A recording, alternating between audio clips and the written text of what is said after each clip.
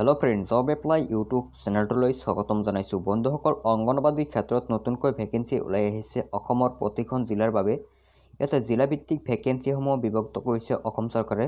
ইয়াতে প্ৰতিখন জিলাৰ ক্ষেত্ৰত ভেকেঞ্চিসমূহ একেধৰণৰ নহয়। চৰকাৰৰ ঘোষণা অনুসৰি যিবোৰ জিলাত অংগনবাদী চেণ্টাৰ আগৰে পৰা যথেষ্ট সংখ্যক আছিল সেইবোৰ জিলাত অংগনবাদী ভেকেঞ্চিসমূহ যথেষ্ট নহয়। এই ক্ষেত্ৰত আপোনালোকে অসমৰ ভিত্তিত যিকোনো জিলাতে নিযুক্তি লাভ কৰিব পাৰে। আপোনাৰ যোগ্যতা অনুসৰি আপুনি অংগনবাদীত নিযুক্তি লাভ কৰিব অসম চৰকাৰৰ অধীনত। ইয়াতে আপোনাৰ যোগ্যতা যদি ফুলফিল কৰে তেতিয়াহ'লে আপোনালোকে অংগনবাদীত এইবাৰ অৱশ্যেই চাকৰি পাব। আপোনাৰ গাঁৱতে অথবা আপোনাৰ জিলাতে ট্ৰান্সফাৰ হৈ আহিব পাৰিব। প্ৰথম কথাটো হৈছে যে আপোনাৰ যোগ্যতাখিনি ফুলফিল কৰিব লাগিব। যদি আপোনাৰ যোগ্যতাটো মেটচ কৰে তেতিয়াহ'লে আপোনালোকে ইয়াতে জব হাণ্ড্ৰেড পাৰ্চেণ্ট গেৰাণ্টি পাই যাব।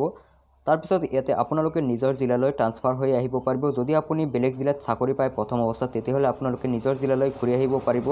চাকৰিৰ এপইণ্টমেণ্ট লাভ কৰাৰ পিছত অংগনবাদীৰ ক্ষেত্ৰত আপুনি য'ত প্ৰথমতে নিযুক্তি লাভ কৰিব য'ত এপইণ্টমেণ্ট পাব যিটো জিলাত সেইটো জিলাত আপোনালোকে কেইমাহমান চাকৰি কৰিব লাগিব। সেই কেইমাহ চাকৰি কৰাৰ পিছত আপোনালোকে নিজৰ জিলালৈ অথবা নিজৰ ঠাইলৈ ঘূৰি আহিব পাৰিব ট্ৰান্সফাৰ হৈ গতিকে অসমৰ প্ৰতিখন জিলাৰ বাবে যিটো ভেকেঞ্চি ওলাইছে দুহেজাৰৰ বাবে যিহেতু অসমত অংগনবাদী চাকৰিৰ ক্ষেত্ৰত ভৰ্তি প্ৰক্ৰিয়াটো বহুত দিনৰ পৰা বন্ধ হৈ আছে। অসমত বিশেষকৈ অসম ৰাজ্যখনত অংগনবাদী চাকৰি ভৰ্তি প্ৰক্ৰিয়াটো বহুত দিনৰ পৰাই বন্ধ হৈ আছে। অসম চৰকাৰে এইবাৰৰ বাবে অংগনবাদী যিবোৰ পদ খালী হৈছে সেই পদসমূহ তথা নতুন কিছুমান পদ সৃষ্টি কৰি কিছুমান ঠাইত যিবোৰ ঠাইত অংগনবাদী চেণ্টাৰ যথেষ্ট আছে সেই সেইসমূহ অঞ্চলত যথেষ্ট সংখ্যক ভেকেঞ্চি পদ মুকলি নকৰিব এইবাৰ। যিবোৰ অঞ্চলত যথেষ্ট সংখ্যক পদ মানে কেন্দ্ৰ নাই সেইবোৰ অঞ্চলত এইবাৰ নিযুক্তি প্ৰদান কৰিব প্ৰাৰ্থীসকলক এই ক্ষেত্ৰত আপোনালোকে একৈছ চনৰ পৰা আপোনালোকৰ যিটো ভৰ্তি প্ৰক্ৰিয়া সেই প্ৰক্ৰিয়াটো যোজা কৰিবলৈ গৈ আছে চৰকাৰে।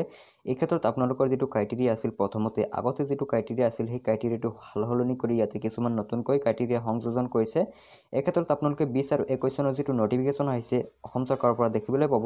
ভিডিঅ'টো অনুগ্ৰহ কৰি প্ৰথমৰ পৰা শেষলৈকে চাই ল'ব। লগতে আপোনালোকে কমেণ্ট কৰি জনাব আপোনালোকে কোনটো জিলাত বসবাস কৰি আছে।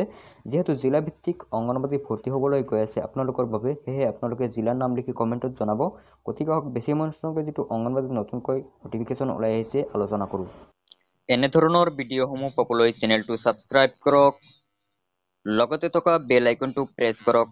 বেল আইকনটো প্ৰেছ কৰাৰ লগে লগে ওপৰত চাব এটা বেল আইকন আহিছে ইয়াতে প্ৰেছ কৰি দিয়ক। বেল আইকনটো প্ৰেছ কৰিলে আপোনালোকে ভিডিঅ'সমূহ নিয়মিতভাৱে পাই থাকিব। যদি কোনোবাই এতিয়ালৈকে বেল আইকনটো প্ৰেছ কৰা নাই সোনকালে প্ৰেছ কৰি লওক। ধন্যবাদ।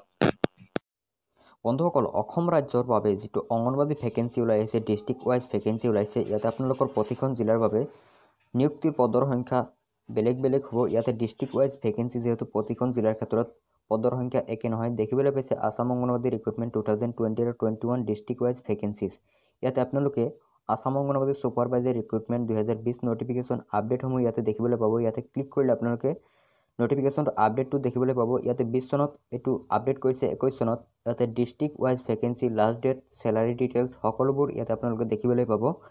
Assam anganwadi recruitment two thousand twenty আৰু টুৱেণ্টি ওৱান ইয়াতে পৰা বিছ আৰু একৈছ চনৰ ক্ষেত্ৰত প্ৰযোজ্য কৰিছে department of social welfare Assam women and child development department ইয়াত আপোনালোকে ডিটেইলছ চাই ল'ব। মই ভিডিঅ'টো দীঘলীয়া হ'ব কাৰণে বেছি কৈ দিয়া নাই। ইয়াত আপোনালোকে দেখিবলৈ পাইছে নটিফিকেশ্যন আৰু এপ্লিকেশ্যন ফৰ্ম ইয়াত আপোনালোকে ক্লিক কৰাৰ লগে লগে নটিফিকেশ্যনৰ এপ্লিকেশ্যন ফৰ্মটো দেখিবলৈ পাব।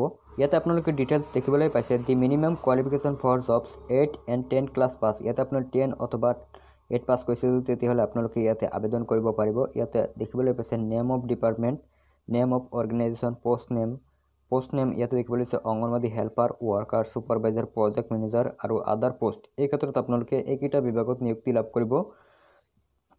নাম্বাৰ অফ ভেকেঞ্চি হৈছে ভেৰিয়াছ মানে বিভিন্ন ধৰণৰ পদ ওলাইছে অংগনবাদীৰ ক্ষেত্ৰত। এপ্লিকেশ্যন মোড হ'ব অনলাইন ইয়াত আপোনালোকে অফিচিয়েল ৱেবছাইটটো দেখিবলৈ পাইছে। এই ৱেবছাইটত গৈ আপোনালোকে অনলাইনত এপ্লাই কৰিব পাৰে।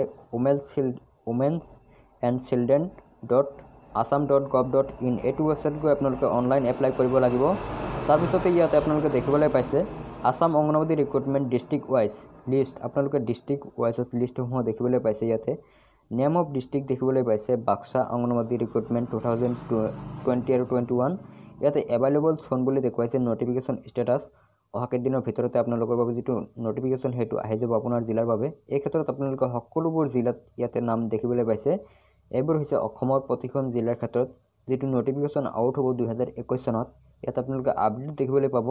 তাৰপিছতে ইয়াতে আপুনি কোনটো ৱেবছাইটত এপ্লাই কৰিব লাগিব ফাইনেলি তাৰপিছত আৰু কিছুমান ক্ৰাইটেৰিয়া ইয়াতে উল্লেখ কৰিছে অসম চৰকাৰে। Assam anganwadi recruitment two thousand twenty eligibility criteria ইয়াতে আপোনালোকে দেখিবলৈ পাইছে।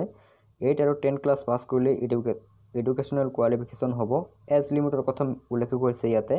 ফৰ্টি ফাইভ ইয়াৰ্ছলৈ যদি আপুনি আপোনাৰ বয়স যদি পঁয়চল্লিছ বছৰলৈ হৈছে তেতিয়াহ'লে আপোনালোকে ইয়াতে আবেদন কৰিব পাৰে। ওঠৰ বছৰৰ পৰা আৰম্ভ কৰি পঁয়চল্লিছ বছৰ বয়সৰ ভিতৰত এপ্লিকেশ্যন ফিজ। ইয়াতে আপোনালোকে এপ্লিকেশ্যন ফিজটো ডিফাৰেণ্ট এক্সপিৰিয়েঞ্চ কেটেগৰী ৱাইজ আপোনালোকৰ কেটেগৰীৰ ভিত্তিত ভিত্তিত আপোনালোকে ইয়াতে এপ্লিকেশ্যন ফিজ পে' কৰিব পাৰে। ইয়াতে আপুনি যদি S C S T O' B C কাষ্টৰ পৰা হয় তেতিয়াহ'লে আপোনালোকে ইয়াতে এশ টকা দি ইয়াতে অনলাইন এপ্লাই কৰিব লাগিব। তাৰপিছত যিসকলে জেনেৰেল কাষ্টৰ ল'ৰা ছোৱালী হ'ব তেওঁলোকৰ বাবে ইয়াতে উল্লেখ কৰা নাই। তেওঁলোকৰ বাবে বিশেষকৈ ইয়াতে বেছি হ'ব পাৰে যিহেতু S C S T O' B চিৰ কাৰণে ইয়াতে সকলো চাকৰিৰ ক্ষেত্ৰতে ফিজ ফিজৰ মানে ফিজৰ পৰিমাণটো যথেষ্ট কম থাকে। তাৰপিছত ইয়াতে আপোনালোকে দেখিবলৈ পাইছে candidate who have pass five eight